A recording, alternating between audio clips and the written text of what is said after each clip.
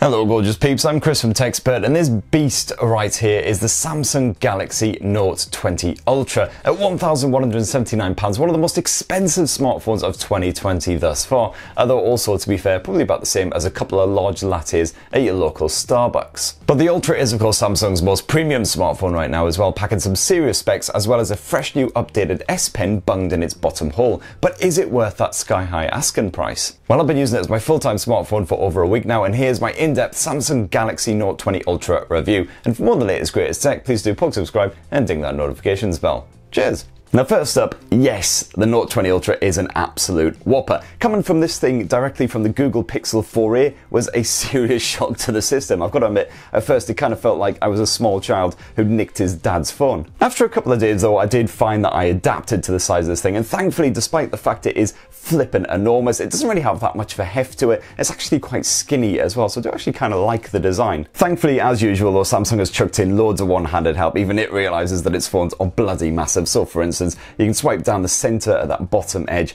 and it'll minimize everything the nifty one-handed mode, making apps and everything much more bearable. And once again, you can pull down that notifications bar from anywhere on screen, so it's not too often you'll find yourself groping for that top edge of this mammoth display. And also, I'm really, really happy to have that matte finish on the back end of the Galaxy Note 20 Ultra as well. It means you're not constantly having to whip out your hanky to give it a bit of a buff, and it's rather resistant to fingerprints and other greasy scuff marks. And yeah, that Mystic Bronze colour is still very divisive. I happen to quite like it. I think it's rather fetching. Some people I show this phone to say it looks like cat sick, and not just cat sick, cat sick from a very sick cat. But if you want to conform to society, it's all good. Samsung's also offering a black and a white model, so just go grab one of those instead. And as for that weird creaky sound that I detected in the unboxing, uh, some very clever viewers pointed out in the comments that that's actually part of the camera housing rattling around in there. And yeah, that does indeed seem to be the case. Uh, still happens, still slightly disconcerting, but here ho. And so far, after a week of use, the Note 20 Ultra seems pretty damn durable. You got that pre-installed screen protector which has soaked up a couple of light scratches, and then flip it around to that arse end, that's still in perfect nick, not a single scratch or scuff to speak of. And of course, you've got full IP68 water and dust resistance on the Note 20 Ultra as well for a bit of added reassurance. Now on the software front, what you've got on here is Samsung's One UI version 2.5, the latest freshest version of its launcher slathered on top of Android 10. And as far as updates go, it's a fairly sedate one, a few little tweaks, a few nice little bits of polishing uh, going on on the surface level that to be honest most people probably wouldn't even notice. I actually had to get my old S20 Ultra and compare side by side to actually see what differences there were. You've got some worthwhile camera updates which I'll get to in a bit and you've also got improved support for third party launchers the likes of Nova and Lawnchair, stuff like that, in case you get a bit bored of One UI. If you want a closer look at the software, I've done a full One UI 2.5 tips and tricks guide, so go check that out for some of my favourite bits in here. As for that ultrasonic fingerprint sensor built into the display, well, it's generally fine. Occasionally it can crap out if your fingers are just a little bit grubby, uh, but generally uh, fine. As for the face recognition, sadly less reliable. You've got to generally have pretty good lighting, otherwise it does kind of struggle a fair bit. As for that S Pen stylus, well, it's definitely an improvement. Using this thing to sketch on the screen feels incredibly natural now, almost like using a pen and paper, except for obviously the smooth nature of the Galaxy Note 20 Ultra's display. I also adore the way that you can record audio on this thing at the same time as you're scribbling notes, and it all syncs up perfectly. I demonstrated it over on that One UI tips and tricks guide if you want to go check it out in action. Would have been really handy when I was doing like interviews for magazines and stuff like that. And it could be really handy for students and as well if lectures are actually still a thing that happens post-COVID. But of course, if you already saw my Galaxy Note 20 Ultra unboxing video, you will know that I do not have a single creative bone in my body. So the S Pen doesn't really feel like it's made for me. I'm not the kind of person who's going to be sketching uh, masterpieces while I'm sat on the bus going into Bromley or something. Now, while our American chums get the Snapdragon 865 bunged in their Galaxy Note 20 Ultras, here in Blighty, we are lumbered with Samsung's own Exynos 990 chipset, which doesn't perform as well in side-by-side tests, but at least in the Ultra here, it is backed by 12 gigs of RAM. So I found the everyday running experience was, of course, absolutely fine. You can split screen with apps, no problem. And you've still got your 5G support on top of that Wi-Fi 6 connectivity as well. So as far as all that shenanigans goes, it's the mutts nuts. So to really test out the Galaxy Note 20 Ultra, I donned my comfiest underpants, I cracked open a Fanta Orange, and I schooled a bunch of prepubescents on how to thoroughly kick my arse. Call of Duty and PUBG Mobile both ran well, again as you'd hope, even after I cranked up the settings to those maximum levels. I saw only one little stutter in Call of Duty during an intensive two hour gaming session, and that was basically it.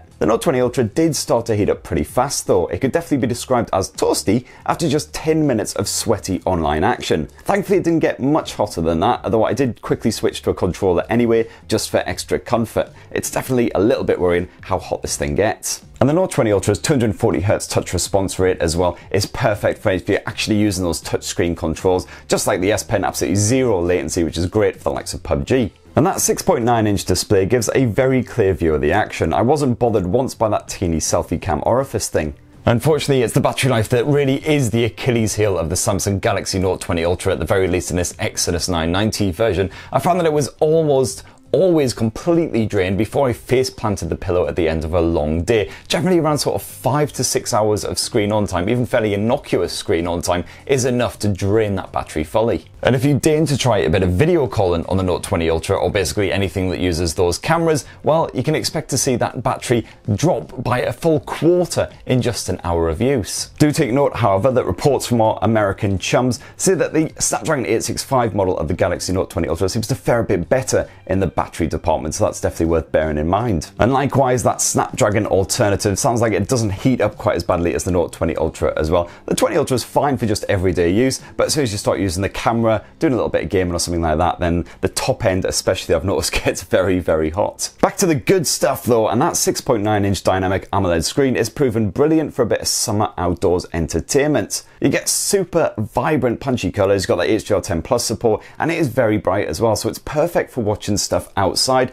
even when it's crazy sunny. I only really struggled with the proper dark scenes in the likes of Umbrella Academy. And while we're on the subject of that mighty screen as well, I always get a bit antsy with these edge-to-edge smartphones where the, the screen actually curves around the very edges of the display because obviously your palms are going to intrude a little bit during your natural one-handed use. But thankfully here on the Galaxy Note 20 Ultra, I've never once had a problem with that. Samsung's software smart seem to counter it really well. I gotta say though, I still can't get over the fact that you can't set that display to 120Hz full time. You can only set it to adaptive, so it'll swap between 60 and 120 when it feels like. And if you want to max out the resolution at WQHD+, you have to kill the 120Hz entirely and stick to the standard 60Hz setting. That's like paying 10 quid for an ice cream and then being told you can only have monkey's blood or sprinkles, not both.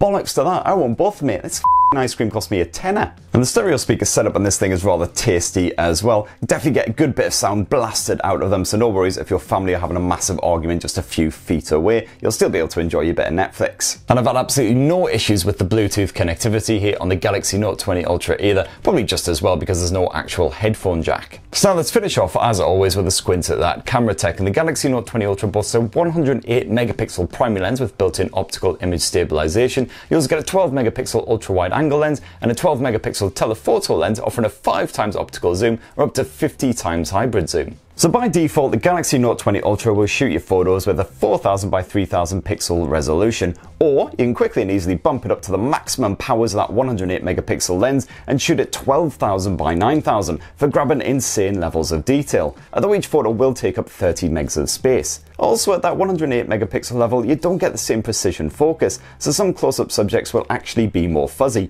It's definitely best used for the likes of landscapes. Samsung's autofocus, though, which uses a combination of PDAF and laser autofocus, is shit hot. This could generally cope with mental youngsters, although too much erratic motion does occasionally result in a blurry shot, which the Note 20 Ultra can at least identify and warn you about once the photo's been taken. Colour details are quite rich, even with Samsung's scene detection mode switched off, although not to a hideous degree. I actually quite like vivid pics, so I like these results. As for the HDR chops, well, once again, not great. They're fine in low light, but in brighter conditions, I definitely saw a fair few instances of oversaturation, which makes the final snap look less than brilliant. It kind of saps some of the colour and the general texture detail. At night time, the results are fine, though in low light, you can still get plenty of detail and a bit of colour action on the go. And of course, you've got that dedicated night mode, which brightens everything up, although it's still not as good as Google's effort on the likes of the Pixel 4a, which captures really accurate colours at the same time. As for that zoom lens, well, you get a 5 times optical zoom, and it is impressive up to around the sort of 10 times hybrid zoom level, then things do start to get a bit fuzzy. Even if you stay as still as humanly possible, you're gonna get a blurry, crappy, grainy shot. But where the Note 20 Ultra really impresses and beats most rivals is its video recording chops. You can shoot up to 8K resolution home movies or 4K at up to 60 frames per second, and it all looks really, really good when played back on a telly. Again, you get quite vivid colours, and the focus works really, really well with active, crazy R subjects like this one. The HDR chops seem a bit better for video on the Galaxy Note 20 Ultra as well, especially when you're using that HDR 10 Plus mode, which serves up some beautiful contrast and functions well at that 4K resolution, although you can't use it at 60 FPS. And with certain applications, including unfortunately my video editor, which don't fully support Samsung's HDR 10 Plus file format, you get this washed out misty look. I've also got to mention that the audio capture is perfect as well. I especially love the ability to muffle audio coming from a particular direction using the Pro Video mode. This works really, really well. And you can also uh, pan zoom in nice and smoothly now as well using that Pro Video mode. Great stuff indeed. You can zoom up to 20 times max and the focus does start to struggle a bit at that maximum level. But once again, at the sort of 10 times halfway point, it was absolutely fine. In fact, between that HDR 10 Plus mode and the fact that you can shoot 8K resolution video at a 21 by 9 cinematic ratio, means that basically the Note 20 Ultra is my favourite smartphone for shooting video right now, alongside the Sony Xperia 1 Mark II. Flip around to the front, and that 10 megapixel single lens selfie cam does an alright job for your bit of Insta action. Again, struggles with quite bright lights, you might want to sort of avoid that whenever possible. But you got all the usual portrait mode shenanigans and all that other good stuff to play around with. And good news if you're into a bit of vlogging because you can actually shoot 4K resolution footage at a full 60 frames per second here on the Samsung Galaxy Note 20 Ultra, which you can't do on very many smartphones smartphones at all. Although this is of course a super premium handset, so you'd kind of expect the best. So right there is my full final verdict on the Samsung Galaxy Note 20 Ultra, Samsung's most premium smartphone right now, and one of the most expensive blows of 2020. And I would say if you don't sleep on a massive sack full of cash, and you don't see the S Pen as an absolutely essential tool, then you might want to look elsewhere. But left money in a thing and you got your heart set on the Note 20 Ultra, well I'd definitely say try and hunt down the Snapdragon alternative if you live here in Blighty, because you should see less heating issues and better battery performance. So that's what I think after using the Note 20 Ultra as my personal handset for a full week, but what are your thoughts? It'd be great to hear your opinions on this absolute behemoth. Definitely slap them down in the comments below and please do poke subscribe and ding that notifications bell for more on the latest and greatest tech. Cheers everyone, love you.